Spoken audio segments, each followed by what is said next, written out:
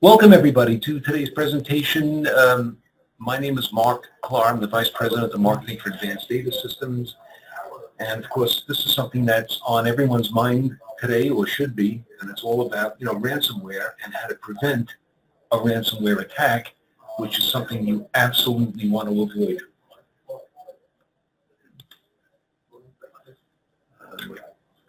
Okay, yeah, before we get into it, just a, a, little bit about who we are, who Advanced Data Systems is. We have a 40-year track record uh, of automating medical practices and revenue cycle management companies with systems that do automated practice management, electronic health records. We have a system specifically for radiology. That's our RIS system.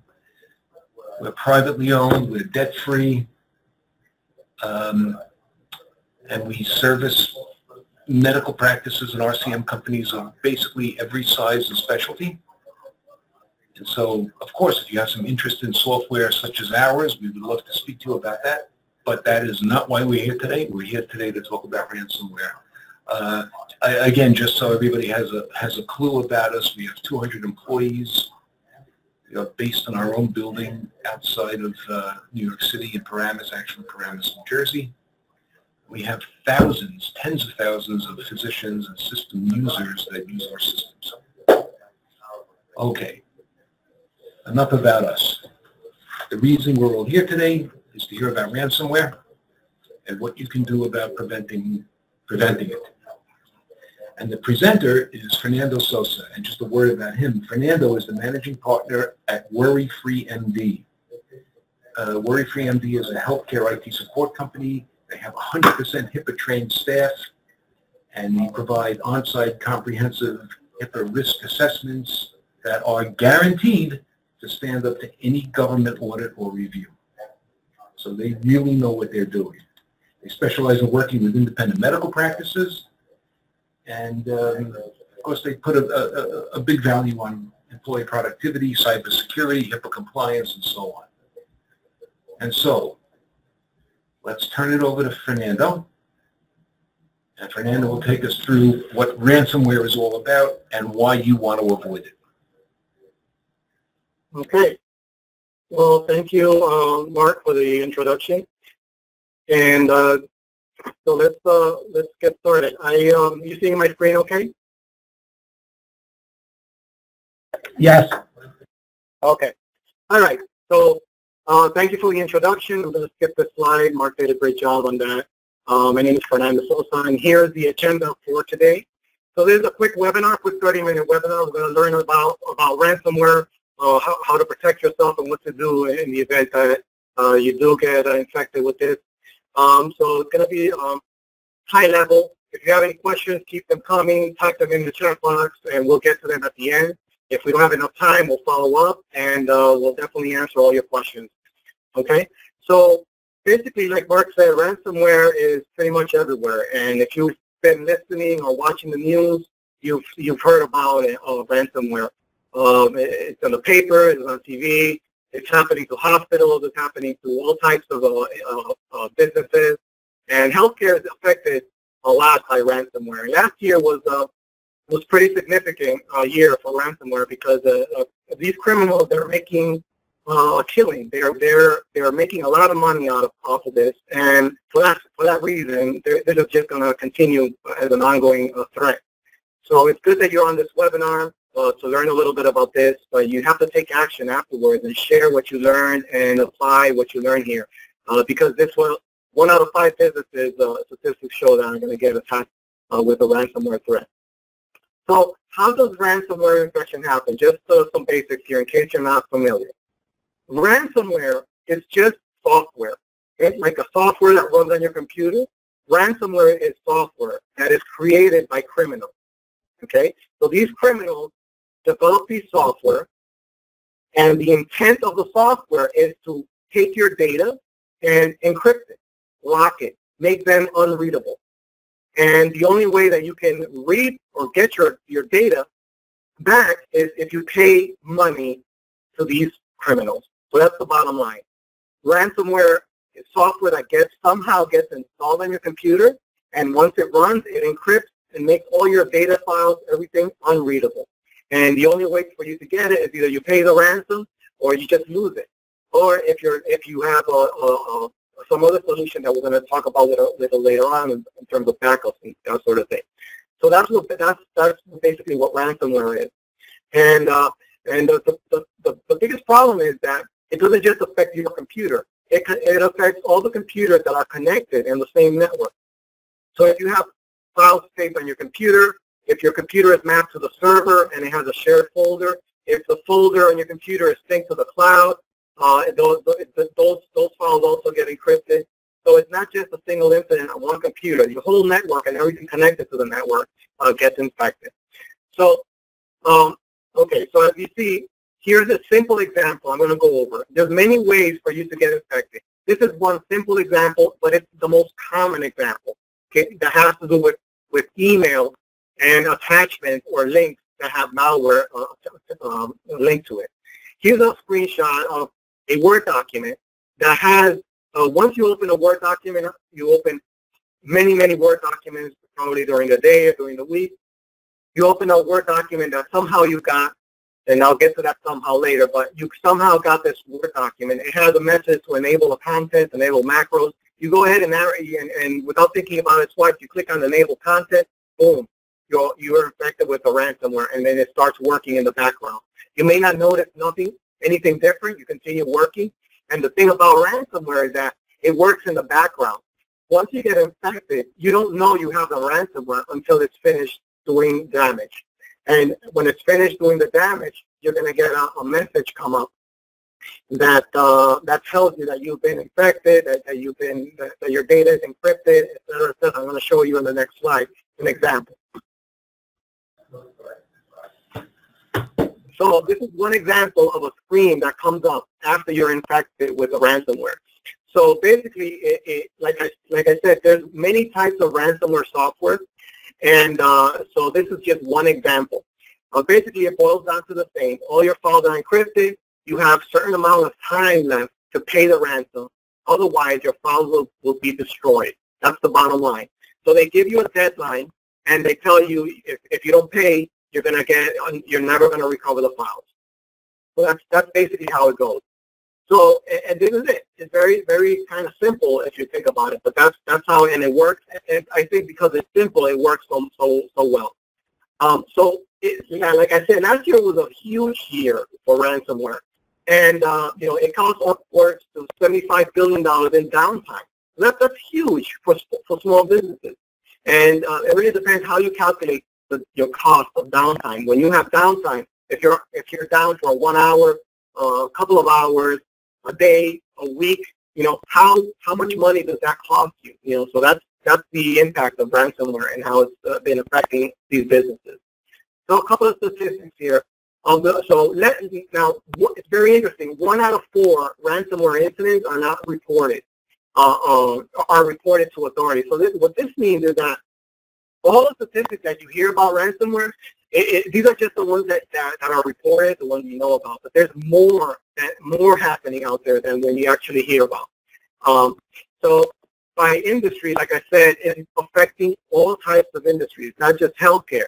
You got the professional services, like the law firm, the accounting firm.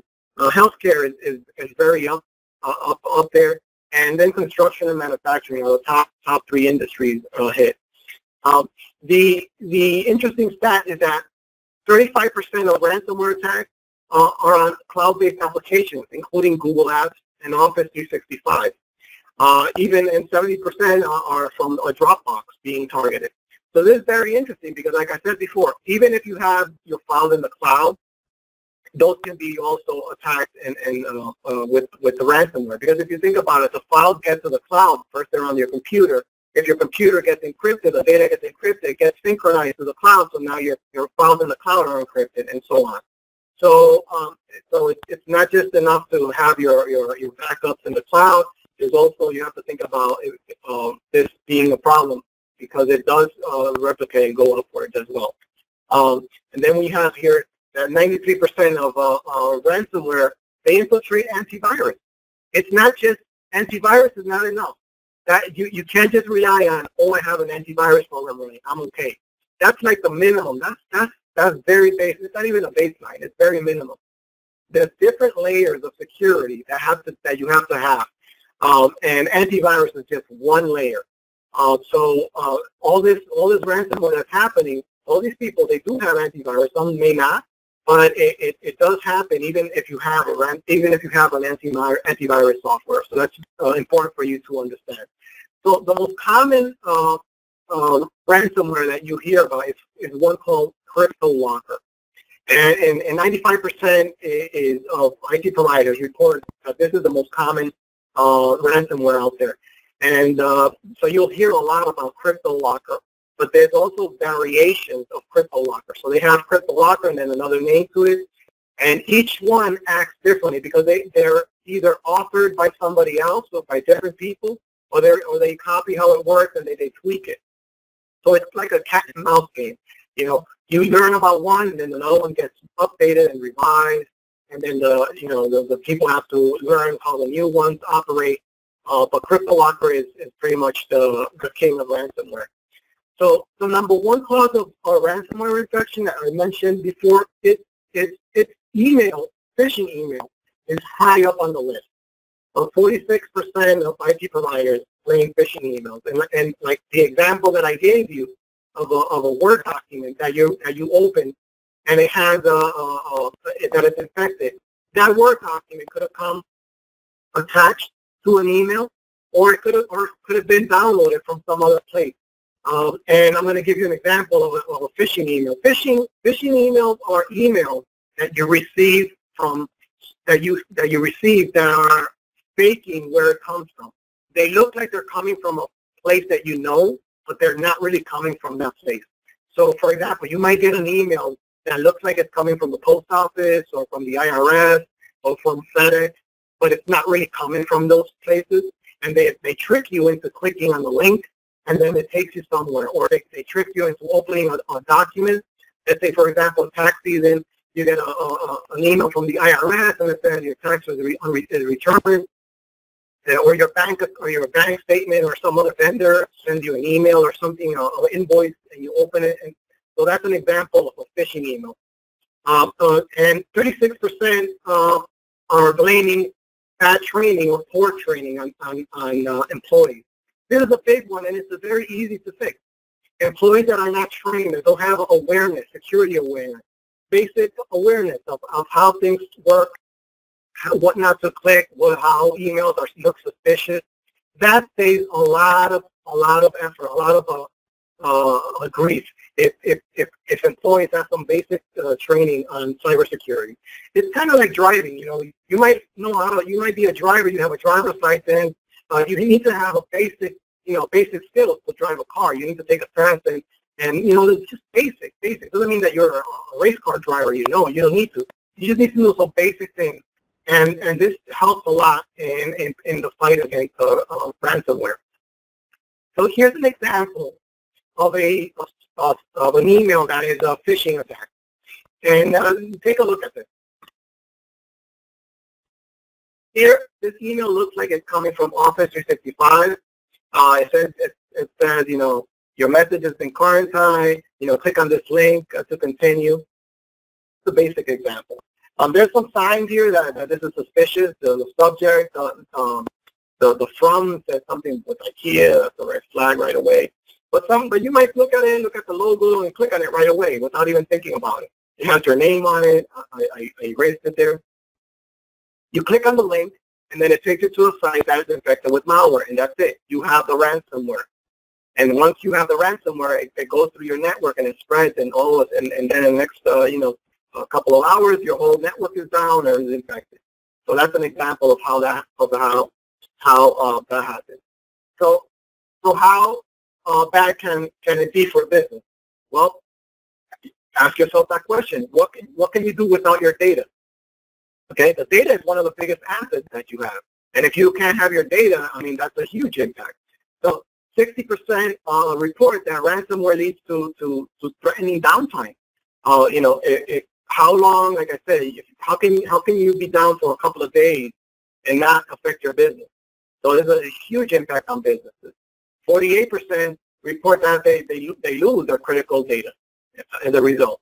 So that's, you know, it's a lot, it's a lot to lose. So let's go over a couple of things. I have a checklist here, a prevention checklist. And so the first one that I have on my list is spam email. Like I said already, email is the highest one on the list. And um, you, you, basically, when emails come in, they look suspicious. They're phishing emails. and they trick you into clicking out into clicking on links, and it's so so easy because people live in their inbox and they get emails all the time. So this is a big problem and how in a big area that you need to look at um, in order to prevent these ransomware attacks in your email. It could be on your security, in your security system, the technology with spam filtering and, and, and other technology solutions I'm not going to get into. But that's, a, that's a, a pretty high on the list. The other one has to do with passwords. Passwords uh, are so easy to address. There's so many, this is a big problem with, with having simple passwords, uh, sharing passwords, not having security policies in place where you have to change password every couple of days, every you know 60 days or whatnot. This is a simple thing that can be done, and it helps you in all your systems in order to prevent an attack. Because uh, when you're sharing passwords or you have passwords that are weak, they're easily uh, uh, easily um, uh, breached. And uh, you know, other there's other types of security policies, and, and this all this all gets covered when you're doing a HIPAA risk assessment, by the way, which I'll talk later.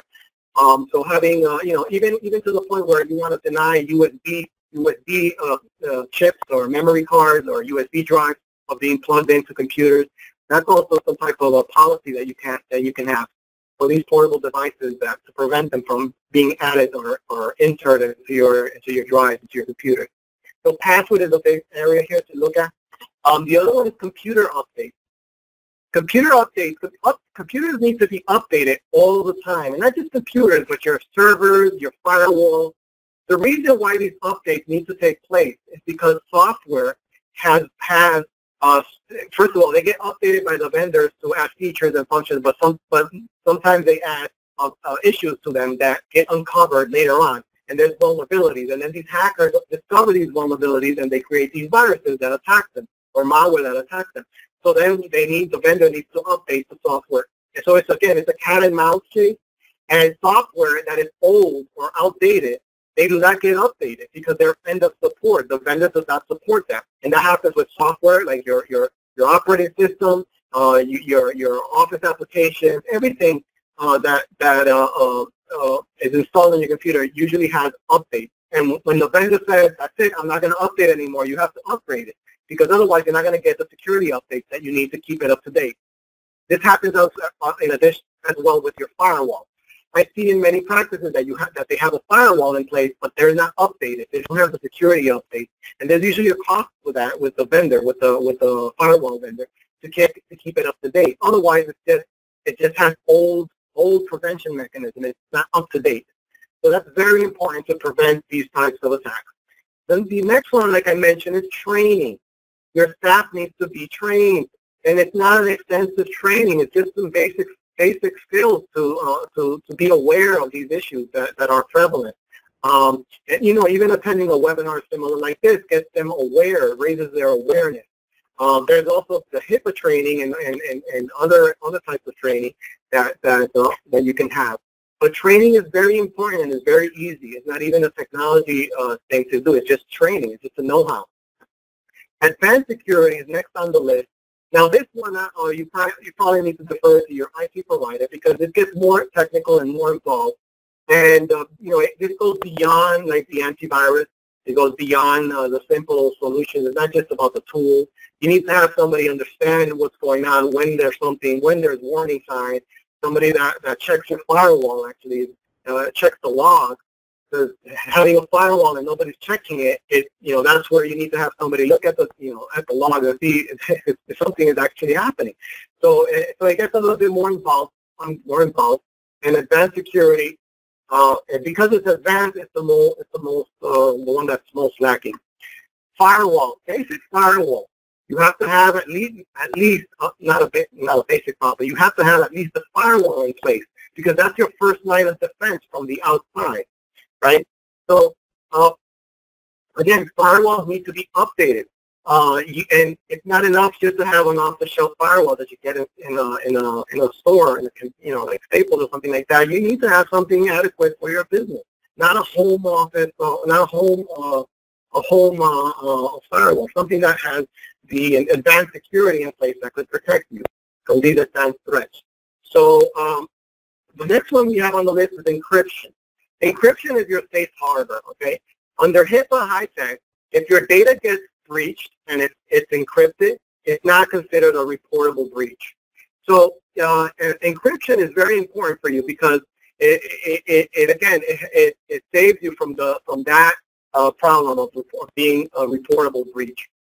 If you encrypt your data, especially you need to encrypt your mobile devices, your phones, your tablets, your laptops, um, and even your desktop, it, because uh, uh, that is a big line of defense to prevent uh, people from accessing your data. And it, it doesn't really prevent you from the from ransomware because it can still be affected by the ransomware. However, uh, even though you're dealing with the ransomware, because it's because you encrypt your data, it's not going to be considered a reportable breach. And uh, HHS recently released a, uh, a guidance that saying that ransomware attacks aren't uh, reportable. So you have to report a ransomware attack. But if it's encrypted, then in that case, it falls under the safe harbor because it's not, you know, the, the users, the, the criminals cannot uh, use the, uh, the data. So uh, the other one I have here is the HIPAA risk assessment. And I mentioned that before. A risk assessment is your annual ob obligation uh, by HHS to do uh, on, a, uh, on your office. Basically, the risk, risk assessment, it could be risk called the risk assessment, security risk analysis, uh, HIPAA risk analysis. We're talking about the same thing. That basically go, goes into your office and you, you, you check, you make an assessment of your whole office, your including of technology, your policies and procedures, your privacy, everything. And uh, um, eh, basically this helps you uncover any risks that you have in your in your practice. And all of these checklists here, you actually look at will will, will be uncovered in a comprehensive risk assessment. Not all risk assessments are the same. Uh, risk assessment is not just a checklist. The point of, uh, of the risk assessment is to uncover risk. If you're just filling out a checklist, you're not really checking the network and checking all these things. You're not really uh, protecting yourself or, or, preventing these things from happening. So a comprehensive risk assessment is your first step towards HIPAA compliance. And that's how you prevent a lot of these things from happening if it's a, if it's a good risk assessment. If you look at the press releases of, of of attacks that have happened, and HHS puts out these releases, a lot of them cite, uh, cite um, a poor, uh, uh, inadequate risk assessment done, and that's why they, they got uh, hacked. So the last one on the list I have here is backup. And this backup is what I will call my uh, backup insur uh, uh, ransomware insurance, so to speak. Insurance in a way that, um, you know, insurance is meant to help you after the fact, right? So with backup, if you if all if everything goes you know falls through and you still get attacked, what is your fallback plan? How do you recover? And that's where backup comes into play. Okay, so it doesn't necessarily prevent you, but it helps you come back to from a problem like this. And not all backups are the same. So uh, that's another thing. The word backup gets used very loosely in the industry, and you might think and you might see it as a marketing term, and it's not necessarily a comprehensive backup solution that will help you when you need it the most. A lot of practices I, I've seen, uh, they, they, they think they have a backup running, they, but they never test it. They never actually re restore the data to see if it actually works. And, and that's kind of like doing a fire drill. You do fire drills to know that you have the, the, the process in place to know what, what to do in case of the emergency. So backups is the same thing. You have to test these backups because when you have a problem, an emergency, that's not the time for you to do a drill, right? That's not the time for you to do the test. So these backup solutions, uh, uh, you have to be able to recover from ransomware, and uh, now backup solutions will help you with that. So that's also very important for you to, to, to, to check on your list to have a comprehensive backup solution. Um, we can help you with all of this, by the way, but I um, just want to point this out to you. So what can you do? So uh, according to Homeland Security, the, the, the, the, number one solution to prevent if, if it happens, because the thing is, there's no 100% uh, guarantee that you won't get ransomware, even if you take all the precautions necessary. There's no 100%. So that means you have to have a backup and disaster recovery solution as the other layer of protection. Okay, so it's everything. You have to have everything to protect yourself, but you have to have the, good backup solution in place uh, in the event that the worst thing happens and you're able to recover. So that's my uh, checklist here. I'm just going to put it back again here. So that's very important for you to understand. Uh, don't forget to put some questions. If you have questions, I, am almost done here. But um, uh, spam email, password, computer update, training, advanced security, firewall, HIPAA, HIPAA risk assessment, encryption, and backup. These all will help you if you address these these areas. Um, like I said, the number one and the easy and the common one is the spam and the phishing emails. Passwords is very easy to fix, very easy to address. Training is, is very easy to address. Okay, the rest you might need help from your provider, uh, but these are how to prevent from these ransomware attacks that are happening every single day. So the next step for you will be, you know, share what you've learned. Now that you, you know, congratulate you to for attending and participating, watching this webinar either now or recording. So take action, share this, uh, implement some some action steps in your office, reach out to your IT provider or reach out to us for any help and anything that we talked about. And don't be a victim. There's a download there that you can download for uh, these checklists. Uh, just go to this link and you can download this checklist. And uh, that's pretty much it. I'm going to open it up to Q&A. I have a couple of questions here. Uh, I'm not sure there's more on the on the webinar. Let me see more. Um, I also have a, a, a, webinar special that I'm just going to try out uh, just for the live attendees before I get into the question. Usually for the risk assessment, we do risk assessments for $1,500. Just for the webinar, we're going to leave it for $11.99. But if you're live, uh, I'm going to give you the offer of $7.99 for the, for the risk assessment if you respond within 24 hours. And if that's a, a problem, we'll split it into three payments of 267 So that's just for the live attendees as a way of saying thank you. This is for 24 hours. So let me go into the questions I have here. So only, um, that's the only, I only visited trusted sites. Am I still at risk? Okay. So, so some practices have, uh, uh, they, they don't browse the internet or they, uh, they, they they don't even have emails. They're saying here, okay, yeah, you're you're still at risk because you may be safe uh, uh, on your end, but uh, the coworkers that you have in your office, or unless you're by yourself, right? You're one person, but if you have other coworkers, they can have this problem on their end, or they can get an email from somebody else, or they can visit a website, okay, from somebody else, and uh, uh, there's something called drive-by downloads, which is you're visiting websites, and they could be legitimate websites, but the websites are can can be infected as well. So you can be visiting a website, and the website can download a, a, malware onto your computer. So that's one way to get infected. You don't necessarily need to um, check email to get infected. And it could be a trusted website. But even a trusted website get infected. Let me give you an example. Skype. Um, let me myself. Skype, if you use Skype, for example, Skype has an, the free version. Skype has an advertisement uh, on a little banner uh, that was reported not too long ago that one of these banners was, was, was infected with a malware. So if somebody clicked on the banner on Skype, it actually got infected with some malware and got redirected somewhere. So there's many, many, many ways of, to get infected.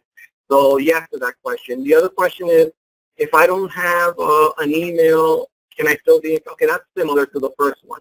Uh, the other one, what to do if infected with ransomware? Okay, so if you suspect that you got that you get infected, uh, that's a good question. The, the first thing that you should do is unplug the, the computer from the network.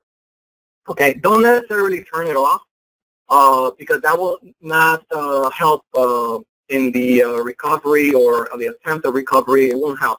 You want to you want to unplug it from the network so it doesn't spread if, if, if, that's, if that's what you think that happened. And of course, you want to follow up with your IT provider. That, that's one way to help them. Uh, that doesn't spread. Is unplug it from the network uh, and uh, give your IT, IT person a call. Know, I just want to thank everybody for joining us. Uh, you know, like I said, we'll, we'll get the copy of the presentation out. Um, if you have any uh, questions uh, about uh, Advanced Data Systems, our products or services, you know, you can contact us at either info at adsc.com or you can call us at 800-899-4237, extension 2264. And uh, of course, you can uh, also learn a lot by visiting our website at uh, www.adsc.com. Uh, again, I want to thank uh, Fernando for a great uh, webinar, and I want to thank everybody for attending. Uh, I hope you all have a great weekend, and uh, thank you so much.